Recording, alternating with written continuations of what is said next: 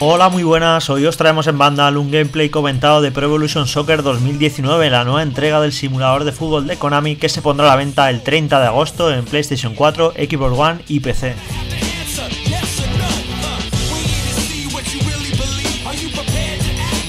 Ya hemos podido probarlo en profundidad durante varias horas en un evento organizado por Konami en Lisboa y lo que hemos jugado es la demostración que estará disponible para todos dentro de un par de semanas, en PS4, en One y en PC. Podéis descargar esta demo gratuita y comprobar de primera mano todas las bondades que os voy a contar a lo largo del próximo vídeo, porque como vais a ver, PES 2019 me ha gustado mucho.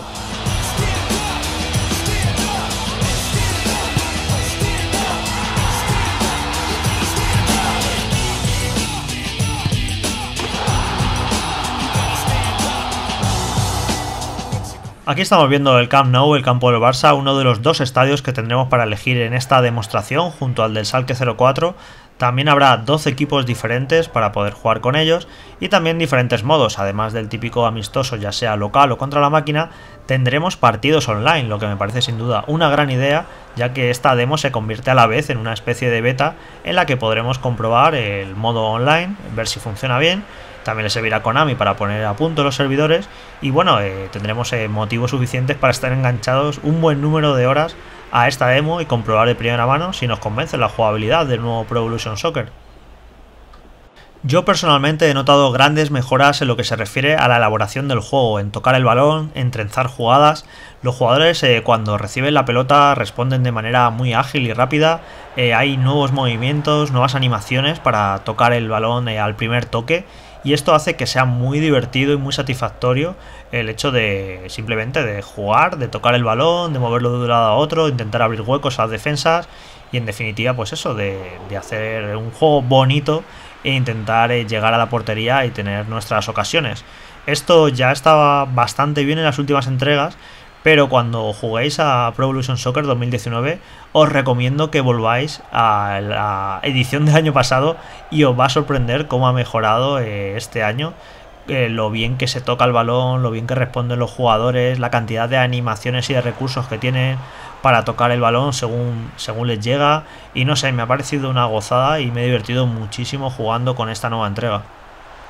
Hay una gran mejora en las animaciones, hay un gran repertorio de animaciones nuevas, eh, los movimientos de los futbolistas se sienten muy naturales, ya es más difícil que en anteriores entregas ver esos eh, movimientos a veces robóticos y antenaturales, que eran tradicionales, eh, todo se siente mucho más natural, todos los movimientos, también el contacto entre los jugadores, las físicas, las caídas, eh, los choques, el cuerpo a cuerpo, cómo eh, meten el hombro y cómo interactúan entre ellos, me ha dejado un gran sabor de boca en todos estos detalles y también se ha mejorado sorprendentemente la física del balón. Ya os daréis cuenta cómo ha mejorado en todos los rebotes, rechaces, cómo cae sobre el césped desde un pase alto, eh, sin duda hay una gran mejora. Creo que las últimas entregas habían dormido un poco los laureles. Es cierto que era eh, uno de los detalles que siempre estaba muy bien en la saga, la física del balón. Pero creo que se había quedado un poquito estancada y vais a notar cómo ha mejorado eh, de manera muy satisfactoria en esta entrega. Eso sumado, como digo, a las mejoras en las animaciones, a la mejor respuesta de los controles, a todo el sistema de físicas y contacto entre jugadores, hacen que las sensaciones cuando te pones a jugar y te pones a tocar el balón sea todo muy satisfactorio, muy agradable y una mejora eh, mucho más notable de lo que podría parecer en un principio y que como digo vais a notar si volvéis a Pro Evolution Soccer 2018.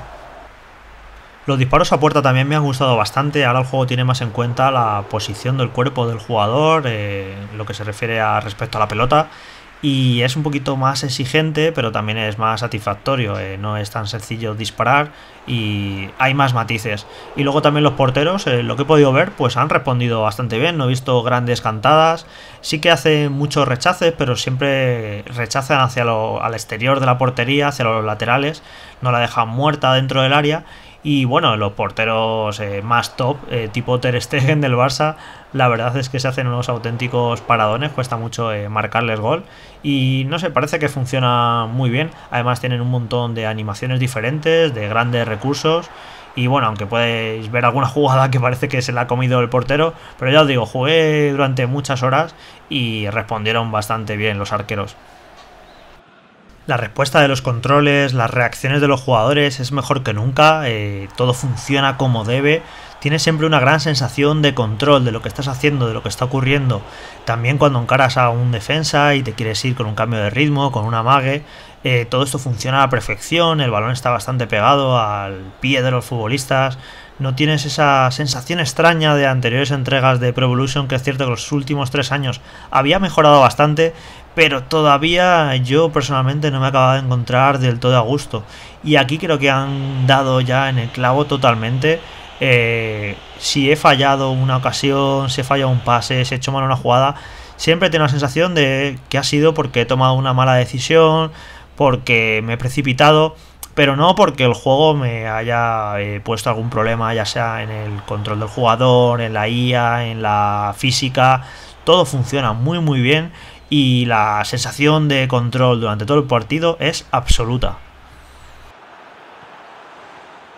La versión que estáis viendo es la de PS4 Pro. El juego, como veis, ha mejorado mucho su iluminación gracias a un nuevo motor de iluminación que hace que sea mucho más realista. Aquí, sobre todo, por ejemplo, en esta circunstancia en el Camp Nou y de día, el juego se ve muy bonito. Ya era hora porque la iluminación de Pro Evolution se había quedado muy anticuada, sobre todo en las actuales consolas. Y ahora ya tenemos una iluminación mucho más acorde a lo que se pide a un juego de, en pleno año 2018. También os podéis fijar en el, césped, que por fin ya no es un tapete, una alfombra plana, le ha metido un poquito de relieve, está mucho mejor conseguido que la entrega del año pasado. Esto se nota especialmente las repeticiones, como podéis comprobar. Y bueno, todavía no es excelente, sobre todo en las cámaras exteriores. Eh, sigue pareciendo un poquito plano y que la textura no es de mucha calidad, pero es una mejora enorme respecto al del año pasado, que dejaba mucho que desear y bueno, pues eh, con la iluminación nueva y esta mejora del césped hace que el juego eh, luzca mucho mejor. No sé cómo lo estaréis viendo, pero eh, si comprobáis el Pro Evolution Soccer 2018 y lo comparáis con este 2019, hay un salto visual más que aceptable. Evidentemente no todo pueden ser virtudes, hay algunos detallitos que no me acabaron de convencer del todo, por ejemplo la entrada fuerte eh, a ras de suelo, la segada, eh, es demasiado exagerada, eh, los jugadores van como a veces como varios metros por el suelo, lo que provocó muchas faltas en los partidos que pude jugar. Y parece Oliver y Benji a veces, las entradas que hacen los futbolistas son demasiado exageradas. Yo creo que este detalle se darán cuenta y lo corregirán de cara a la versión final. Creo que hay tiempo y no creo que sea muy complicado de, de solucionar. Y luego otro detalle es que en las segundas partes de los partidos los jugadores llegan totalmente agotados. Esto provoca que los partidos se rompan. Eh, hacia el minuto 70 y algo, eh, de repente empieza a haber un montón de espacios, hay eh, unos huecos enormes entre líneas, los partidos se vuelven un poco un correcalles y esto se debe a que el cansancio de los jugadores es muy notable. Esto me gusta por un lado porque los juegos de fútbol tradicionalmente el cansancio no se hacía notar, pero creo que lo deben de equilibrar un poquito más porque tenemos tres cambios, no podemos eh, sustituir a medio equipo y eso, llegan completamente exhaustos a las segundas partes y los partidos se rompen cuando en cambio en la primera parte hay un gran equilibrio de fuerzas y bueno, a ver cómo lo hacen y yo creo que deben eh, mejorar este detallito un poco, que no sea tan exagerado el cansancio, porque como ya digo, es que hay una gran diferencia en lo que cómo es el partido en la primera parte y cómo es en la segunda. Eso sí, han incluido un nuevo sistema de cambio rápido Ahora en cualquier momento en el que el balón esté parado, eh, pulsando en el panel táctil, podemos eh, sustituir a un jugador de manera muy, muy rápida y sencilla sin tener que ir al menú. Y esto creo que es una buena noticia porque a veces eh, a todos nos pasa que nos da un poco de pereza a veces cuando estás jugando con un amigo ponerte a hacer cambios porque no quieres parar el ritmo. Y ahora, como veis ahí en la esquina inferior izquierda y derecha, le das al panel táctil y haces un cambio rápido en nada, en un par de segundos. Como veis estoy muy contento con la jugabilidad que ofrece PES 2019, también las mejoras gráficas sin volverse una locura, un portento visual, creo que se hacen notar y se agradecen, aquí veis las animaciones, las físicas, está todo muy cuidado y han llegado a un punto muy dulce dentro de la saga. Y en lo que parece que va a cojear, pues bueno, ya es casi habitual, es en las licencias, eh, la falta de ligas y de equipos clave y luego también eh, los modos de juego en los que no hay excesivas novedades, hay algunas mejoras en los habituales, la Liga Master, el My Club. aunque no son demasiado importantes estas novedades y se echa en falta algún modo nuevo, alguna mejora en el online, que bueno, habrá que esperar un poco a que tengamos el juego final, porque a lo mejor, yo que sé, hay detalles o cosas que no nos han dicho, que no han anunciado, pero bueno, parece ser que esta va a ser un poco la parte más floja del juego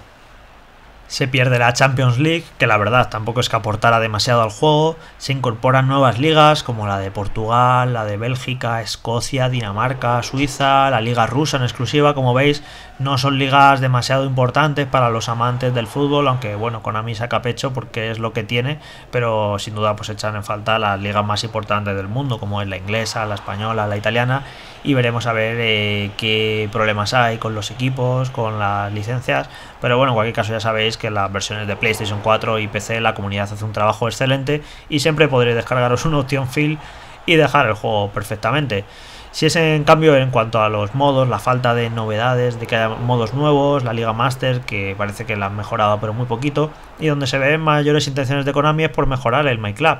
Eh, se nota sin duda que quieren que los jugadores estén en este modo, que estén enganchados todos los días, todas las semanas con nuevos desafíos, con nuevos tipos de torneos y hay muchas mejoras enfocadas a que sea bastante asequible hacerte un buen equipo rápidamente que no tengas que recurrir a comprar cromos, que no tengas que recurrir a jugar 50.000 horas, sino que han bajado el precio de los fichajes, han hecho mejoras en cuanto a si tienes un jugador repetido, que lo puedas cambiar fácilmente. Y bueno, eh, parece que, va a estar muy bien en MyClub este año. Y veremos el resto de modos, sobre todo el online, que vaya fino, que funcione bien. Y es algo que podremos comprobar, como decía al principio, en la demostración, que estará el 8 de agosto, y en la que podremos disputar partidos online con jugadores de todo el mundo.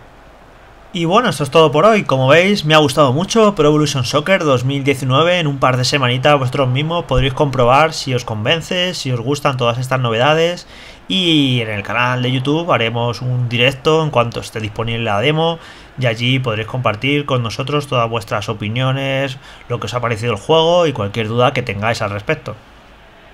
Espero que os haya gustado el vídeo, nos vemos en el próximo. Un saludo.